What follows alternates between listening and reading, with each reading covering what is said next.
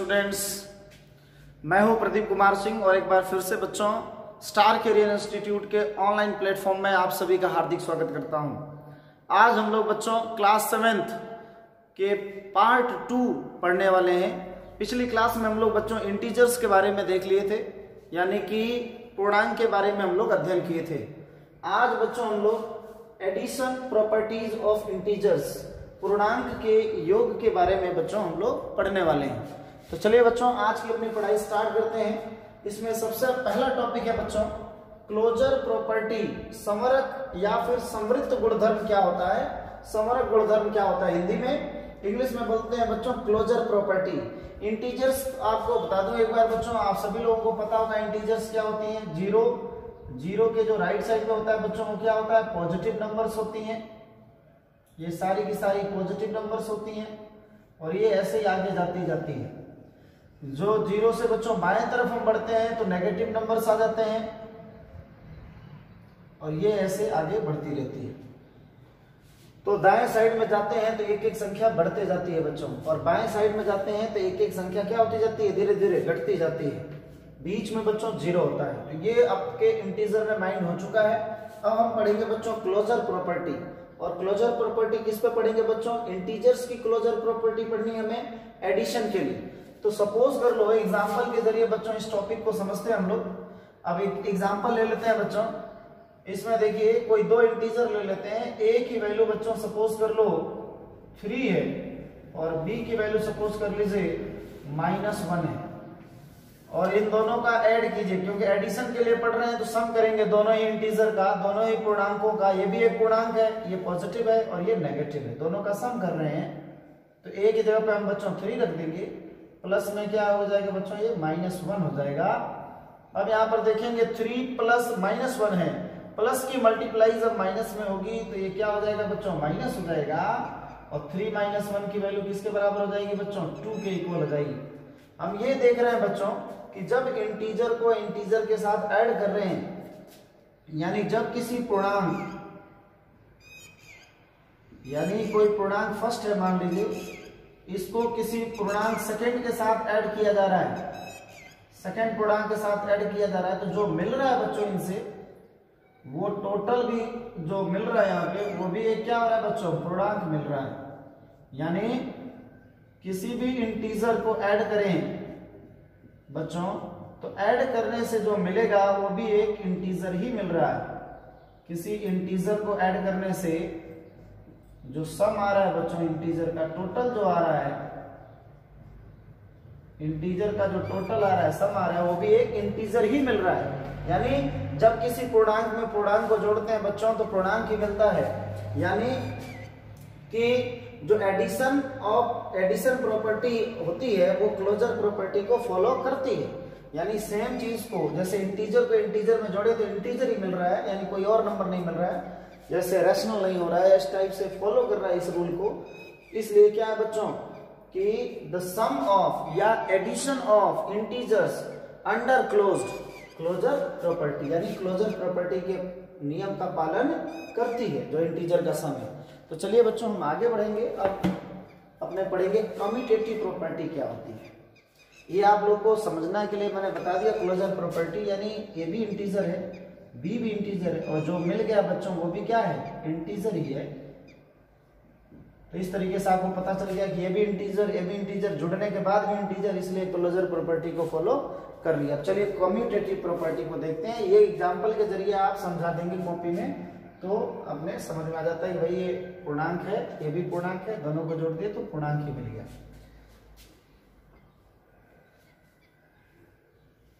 अब हम बात करेंगे बच्चों कम्यूटेटिव प्रॉपर्टी दूसरी प्रॉपर्टी के बारे में बात करेंगे हम लोग। ये तो हो चुका आपके। अब हम बात करने जा रहे हैं कम्यूटेटिव प्रॉपर्टी क्रम विनिमय गुणधर्म। क्रम विनिमय नियम ये है। क्रम विनिमय यानी देख लीजिए इसका क्या है। अब हम लोग पढ़ने जा रहे हैं बच्चों। कम्यूटेटिव प्रॉपर्टी कम्यूटेटिव प्रॉपर्टी क्या होती है?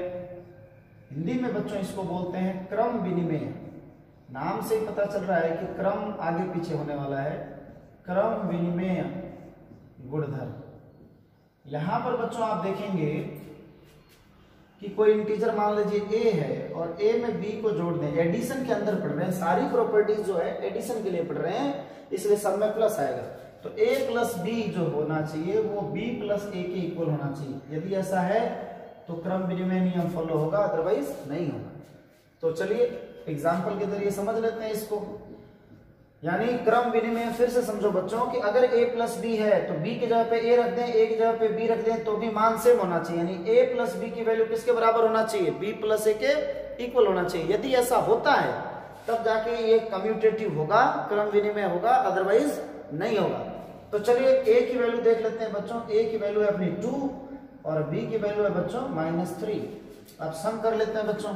पहले निकालेंगे हम लोग a प्लस बी तो ए प्लस बी क्या हो जाएगा? टू प्लस माइनस थ्री तो ये हो जाएगा टू प्लस और माइनस का मल्टीप्लाई होगा तो माइनस का थ्री और टू माइनस थ्री आपको हो जाएगा ये माइनस वन अब बात करेंगे b प्लस ए की.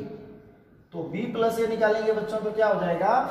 B की वैल्यू है माइनस थ्री और प्लस में क्या हो जाएगा बच्चों? टू माइनस थ्री और प्लस टू क्या हो जाएगा? माइनस वन हम यहाँ पे देख रहे हैं कि जो वैल्यू a प्लस बी की आई है वो सेम वैल्यू किसकी है? बी प्लस ए के यानी दोनों वैल्यू आपस में सेम है। यानी जो एडिशन होती है इंटीजर की बच्चों, वो कम्यूटेटिव प्रॉपर्टी को फॉलो करती है। यानी कम्यूटेटिव प्रॉपर्टी भी फॉलो करती है।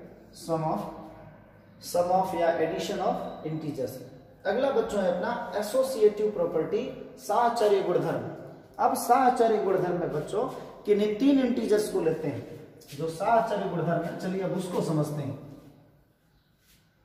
इंटीजर्स प्रॉपर्टी अब यहाँ पे इंटीजर्स के लिए सम ऑफ़ इंटीजर्स के लिए बच्चों हम लोग एसोसिएटिव प्रॉपर्टी एसोसिएटिव प्रॉपर्टी के बारे में देख लेते हैं। साहचर्य गुणधर्म।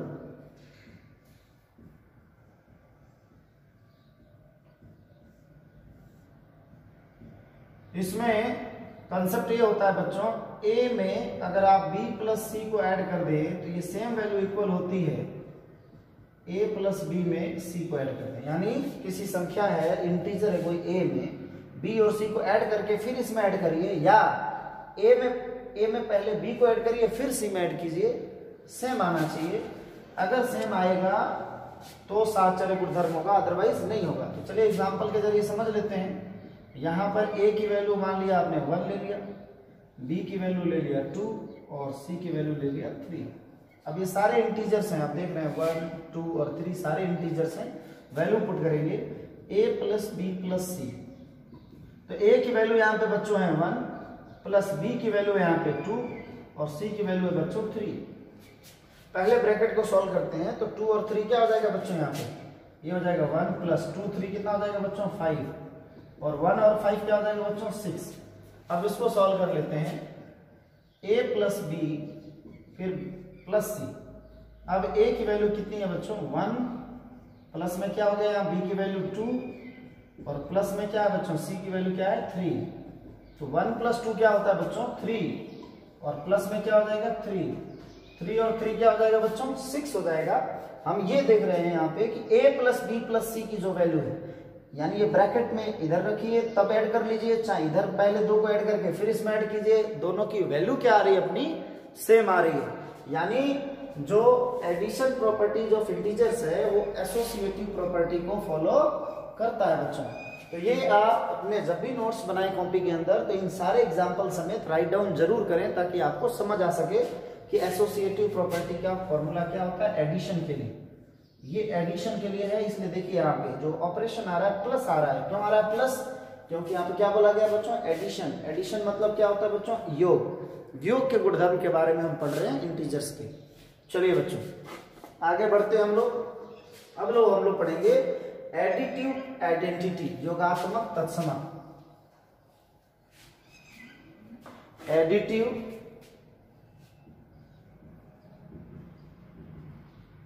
आइडेंटिटी।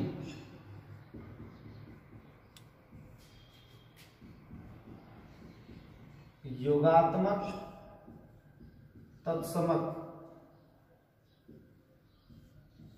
योगात्मक तत्समक की बात करें बच्चों जैसे कोई नंबर है अगर इसमें हम ज़ीरो बच्चों ऐड कर दें तो सम, सेम नंबर मिलता है। तो जो योगात्मक तत्समक होता है बच्चों वो क्या होता है बच्चों अपना ज़ीरो होता है शून्य होता है। जो ज़ीरो होता है, वो अपना योगात्मक तत्समक होता है। यानी किसी भी नंबर में जब हम ज़ीरो ऐड कर देते हैं तो सेम नंबर मिलती है। एग्ज़ाम्पल के लिए आप देख लीजिए। टू प्लस ज़ीरो तो क्या मिलेगा बच्चों? टू। थ्री प्लस ज़ीरो तो क्या मिलेगा बच्चों? थ्री। यानी किसी भी वैल्यू में इसके चेंजिंग नहीं हो रही है, जब सम कर रहे हैं तो ज़ीरो जो है, वो क्या कहलाती है बच्चों? एडिटिव आइडेंटिटी कहलाती है। चलिए। एडिटिव आइडेंटिटी अब समझ नहीं होंगे आप एडिटिव आइडेंटिटी क्या होती है बच्चों? ज़ीरो होती है, क्योंकि किसी नंबर में जब ऐड करते हैं तो नंबर में कोई चेंजिंग नहीं होती। अब आज का अपना लास्ट टॉपिक देख लेते हैं बच्चों। एडिटिव इनवर्स योगात्मक प्रतिलोम।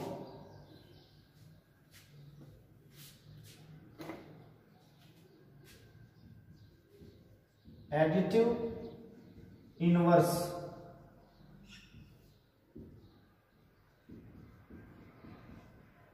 योगात्मक प्रतिलोम।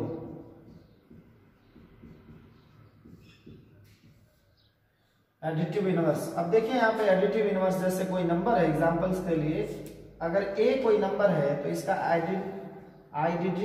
एडिटिव इनवर्स जो होगा बच्चों, वो माइनस ए होगा। अपोजिट साइन कर लेंगे।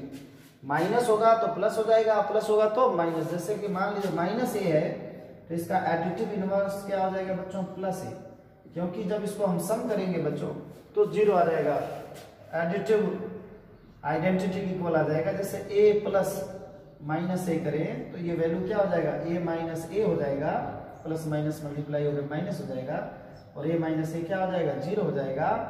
तो ए का एडिटिव इनवर्स योगात्मक प्रतिलोम क्या होगा? माइनस यानी किसी भी पूर्णांक का योगात्मक प्रतिलोम, यानी एडिटिव इनवर्स की वैल्यू जब बच्चों फाइंड आउट करेंगे तो जैसे टू है तो उसका एडिटिव इनवर्स क्या हो जाएगा? माइनस टू प्लस फाइव है तो क्या हो जाएगा? माइनस फाइव हो जाएगा योगात्मक प्रतिलोम। यदि मान लीजिए माइनस टू है तो जब माइनस होगा तो, तो उसको प्लस में बोलेंगे प्लस टू एडिटिव इनवर्स होगा। लेकिन यदि प्लस में है तो माइनस बोलेंगे माइनस में है तो प्लस बोलेंगे। अब आपको समझ में आ गया होगा कि एडिटिव इनवर्स कैसे निकालेंगे। चलिए सपोज़ कर लीजिए मैं आपसे क्वेश्चन पूछता हूँ कि बताइए कि जो माइनस थ्री है एक क्वेश्चन है अपना एग्ज़ाम्पल के ज़रिए कि माइनस थ्री का योगात्मक प्रतिलोम, यानी कि एडिटिव इनवर्स क्या होगा? तो माइनस थ्री का एडिटिव इनवर्स होगा बच्चों प्लस थ्री ठीक है? तो इस तरीके से अपने एडिटिव इनवर्स फाइंड आउट कर लेते हैं। तो चलिए बच्चों, अब हम पढ़ चुके हैं आज के अपने टॉपिक्स में। Closure property commutative property associative property additive property और एडिटिव इनवर्स किसके अंदर पढ़े थे बच्चों? यहाँ पे हिंदी में बात करें तो समरक गुणधर्म, क्रम विनिमय गुणधर्म साहचर गुणधर्म, योगात्मक तत्समक और योगात्मक प्रतिलोम। ये सारे हम पूर्णांकों के योग के लिए पढ़े। अब हम पूर्णांकों के घटाव के लिए अगले पार्ट्स में पढ़ेंगे। चलिए आज का होमवर्क ले लेते हैं बच्चों। आज का हम लोग होमवर्क ले लेते हैं कि अपना होमवर्क क्या होगा।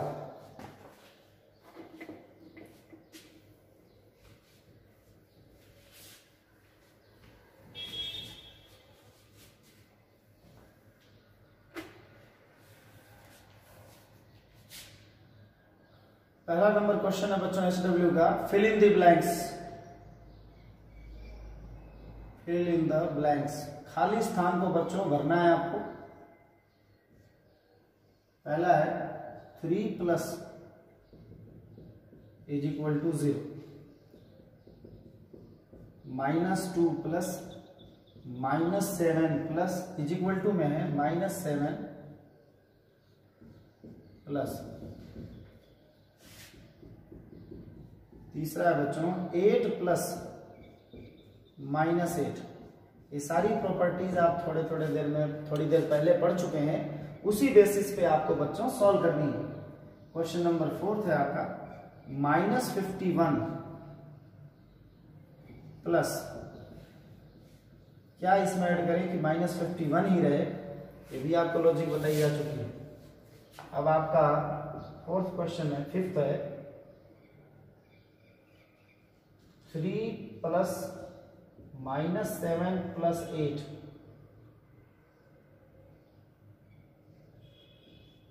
ये इज़ इक्वल टू है थ्री प्लस प्लस एट। अब यहाँ फिर इन दी ब्लैंक से क्या भरेंगे ये आपको खाली स्थान दिया गया है। सिक्स क्वेश्चन है बच्चों सिक्स छठा है three plus minus eight plus. अब यहाँ पे है, इसके बाद इज़ इक्वल टू का साइन है बच्चों, इज़ इक्वल टू वाली जो टर्म है, मैं नीचे लिख दे रहा हूँ।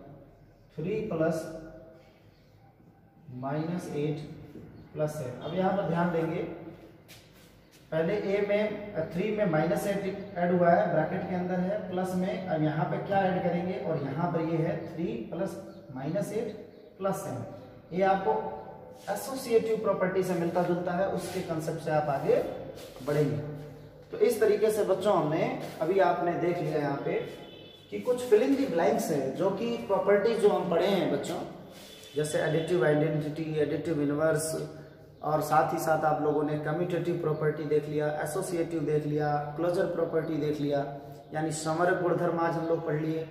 या उसके बाद क्रम विधि में साहचर्य, योगात्मक तत्समक, योगात्मक प्रतिलोम, ये पाँच टॉपिक्स हम लोग पढ़ चुके हैं। उसके आधार पर बच्चों, आपको होमवर्क भी दिया चुका है। फिर हम मिलेंगे नेक्स्ट क्लास में। तो आज के लिए बच्चों, आपसे विदा लेते हैं। जय हिंद, जय भारत।